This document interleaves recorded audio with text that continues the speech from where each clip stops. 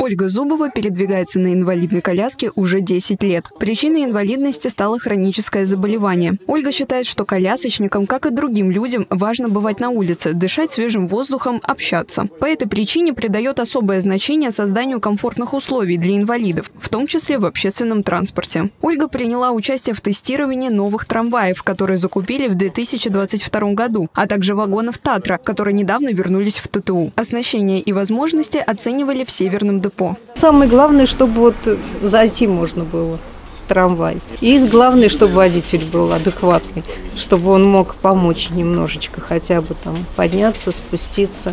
Вот. А так, вполне комфортный вагон, нормально, все, все хорошо.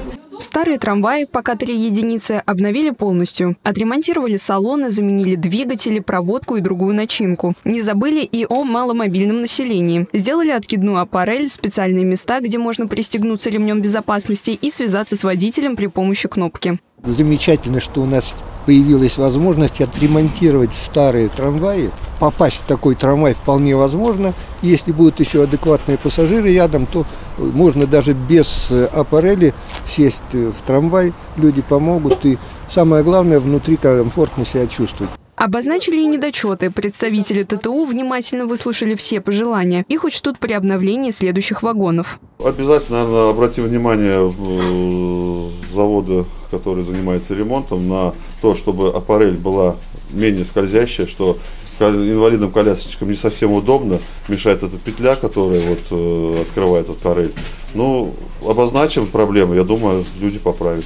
Также представители Ассоциации «Десница» отметили, что при входе в трамвай не помешали бы дополнительные поручни. В дальнейшем, в ходе переоснащения старых «Татр» предлагают рассмотреть возможность оборудования вагонов более длинной аппарелью.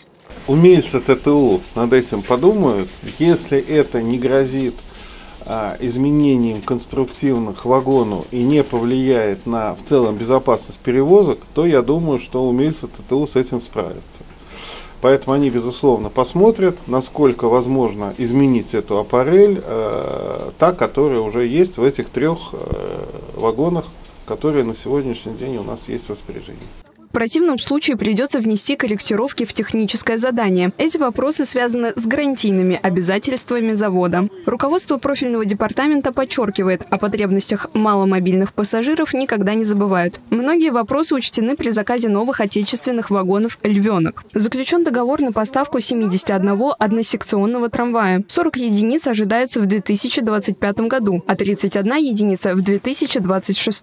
Поставки ожидаются в феврале следующего года. А до конца конца этого года прибудут три новых трехсекционных трамвайных поезда. Ранее на линию вывели 12 трамваев, закупленных в 2022 году. Также обновлено около 3,5 километров одиночного трамвайного пути на улице Новосадовой. Елизавета Прокопенкова, Сергей Баскин. События.